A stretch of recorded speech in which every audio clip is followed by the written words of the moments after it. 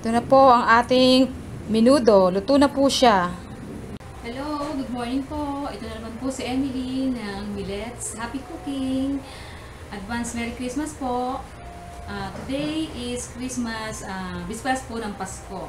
So, special po kaya gluluto po tayo ng minudo. Ah, ito po ang mga ingredients. Ito na po ang mga ingredients ng ating menudo. Um, 1 kilo o pork, kasin po yan. 1 4 kilo o pork liver. Uh, hot dog. Uh, ito po, patatas. Carrots. Pasas. Ito po optional. Iba po kasi hindi naglalagay. Pero ako, prefer ko po uh, maglagay ng pasas. Ito po, um, atsuete. Yan. Ano ko na po siya. Sinoke ko siya into hot water. Patis. Mga 2 uh, tablespoon. 2 tablespoon din po ng toyo. Ito po, mga 3 pieces po ng calamansi juice. Ito po, uh, laurel. Dahon ng laurel. Paminta. Uh, tomato sauce. Gagamit din po tayo ng kamatis. Sibuyas. Bawang. Red bell pepper. At ito pong rino liver spread, optional din po. Yung iba po kasi hindi siya gumagamit, hindi sila gumagamit ng Rino dahil may atay na po. So, yung iba po hindi gumagamit ng Rino, pero ako prefer ko po na gumamit ng Rino para pampalapot din po kasi yan. Okay, stay tuned po. Magluluto na po tayo. First step po, sasangkot siya muna natin ang baboy. Kasama na po ang atay. Paghahaluin na po natin yan. Ito po, ilubusaw na po natin ang tatlong pirasong kalamansi juice. Ayan, yan po nagpapasarap dyan. So,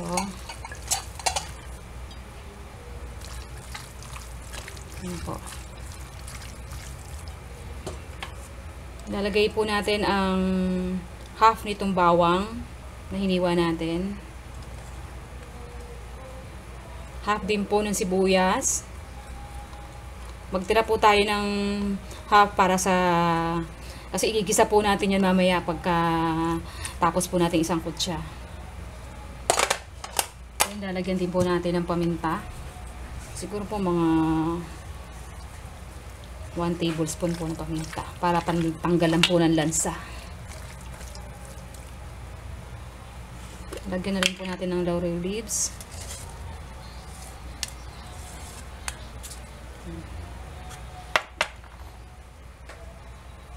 Ito pong toyo na 2 tablespoon.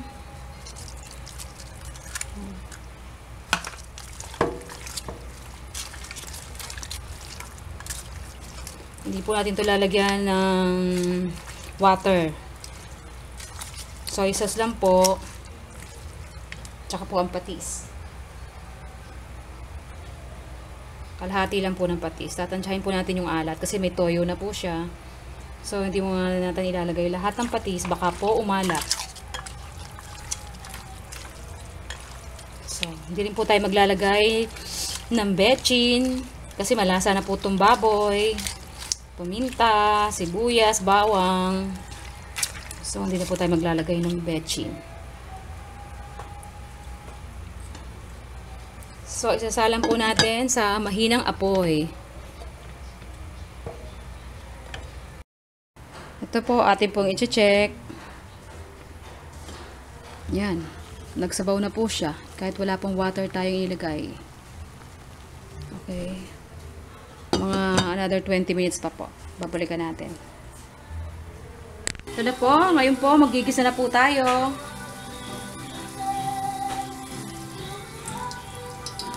Prito muna po natin ang hotdog. Hotdog po muna.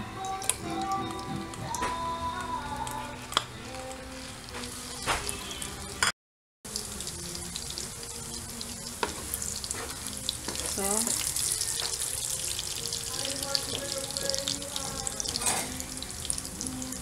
set aside muna natin tong hotdog.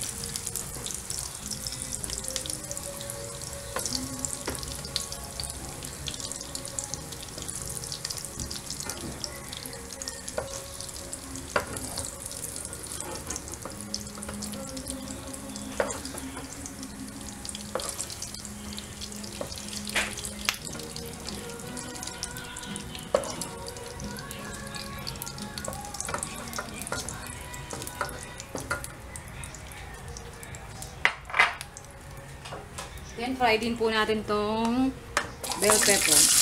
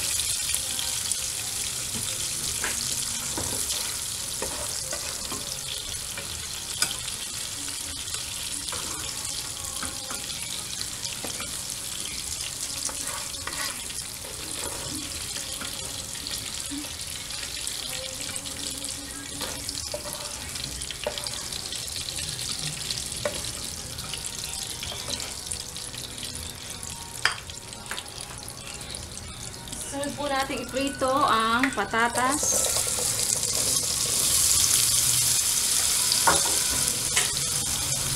At carrots.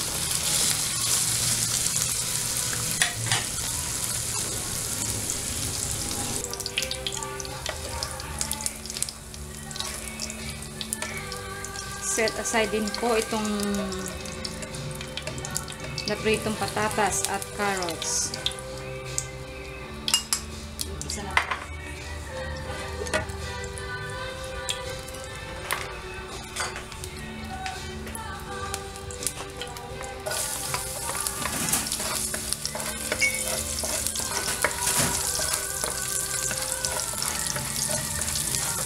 Hin ang bawang.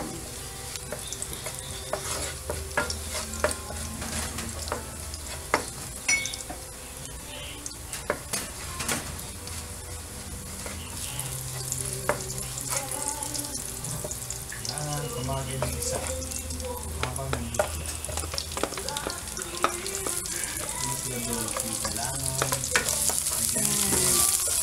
Sunod na po ang sibuyas. Lutuin mabuti. Ayan po maliliit na sinilas. Para pang parami.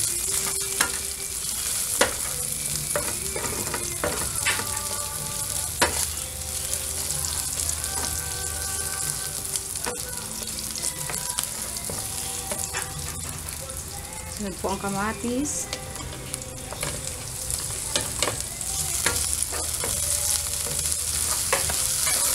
Luto na po ang kamatis. Lalagyan na po natin ng tomato sauce.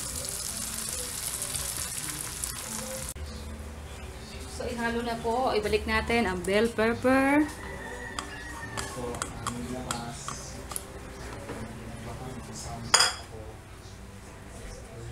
Lagay na po natin ang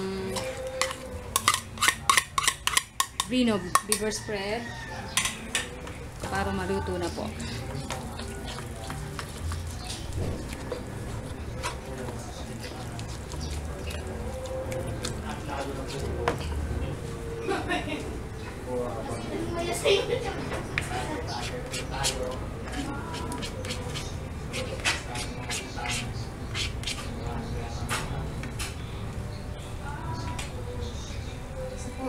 Isunod na po natin ang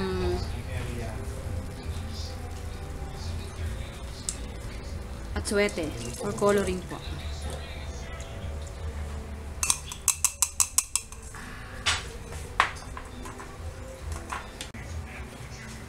Dagdag na po natin ang hotdog.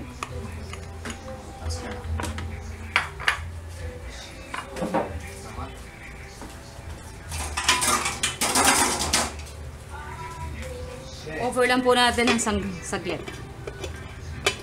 Mga 5 minutes lang po.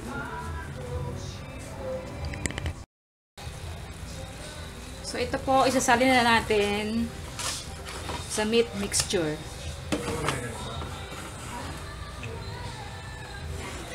Babalik na po natin tong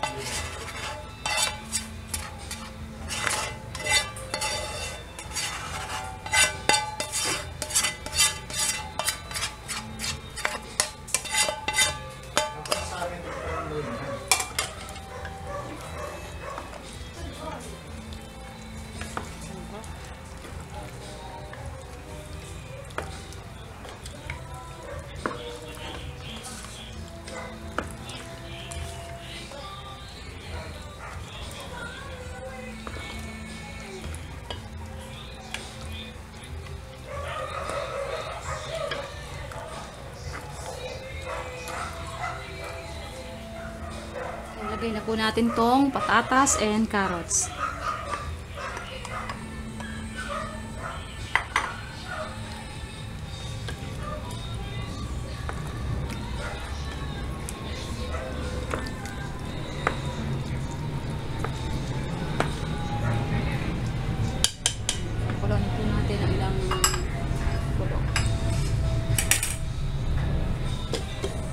Will simmer this for least 10 minutes.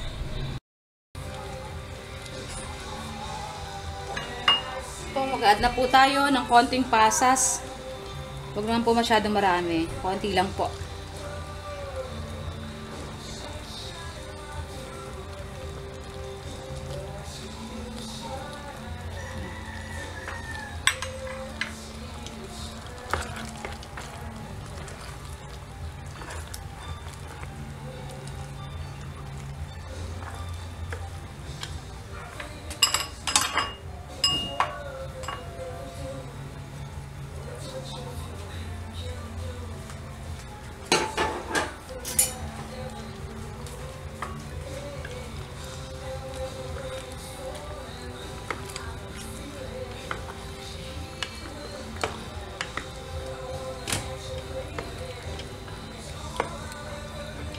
Atin pong titikman.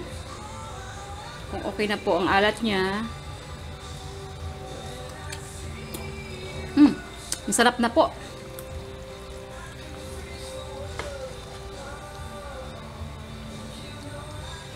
Hmm. Tamang-tama lang po ang alat at konting tamis. Yung tamis po nanggaling sa Rino. Medyo matamis po kasi ang Rino kaya nagkaroon po siya ng konting-konti lang naman po. Nagdagdag din po siya sa alat.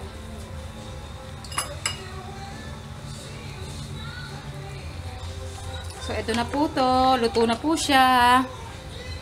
Ito na po ang ating minudo. Luto na po siya. Yan po.